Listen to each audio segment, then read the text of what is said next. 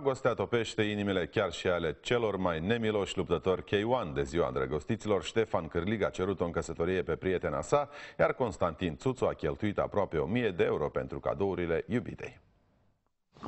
Accept să fii soția mea?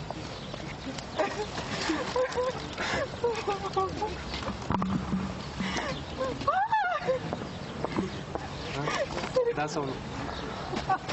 Luptătorul K1 Ștefan Cârlig a obținut astăzi cea mai mare victorie din viață. El și-a luat inima în dinți și a cerut mâna iubitei. Împreună cu antrenorul său și administratoarea clubului unde se antrenează, Cârlig a venit la locul de muncă al Nataliei. Povestea lor de dragoste a început acum șase ani. Au fost vecini de bloc, iar după ce s-au cunoscut, nu s-au mai despărțit.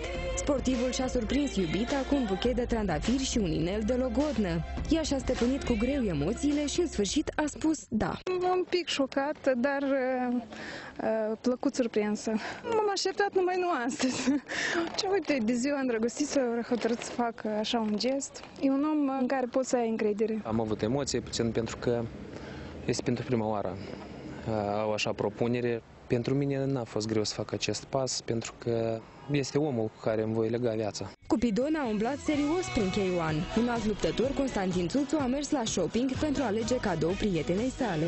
Țuțu a ales un parfum și un inel din aur alb cu tocmai 22 de diamante. Pentru aceste cumpărături a scos din buzunar 18.000 de lei. Am un caracter specific acasă. După antrenamente sunt cam nervos.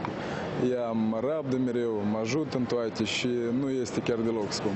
Constantin Țuțu și Ecaterina Senkevici au o relație de 4 ani. Cei mai buni luptători moldoveni se pregătesc acum pentru gala K1, care va fi organizată la Chișinău de Asociația FEA pe 22 martie.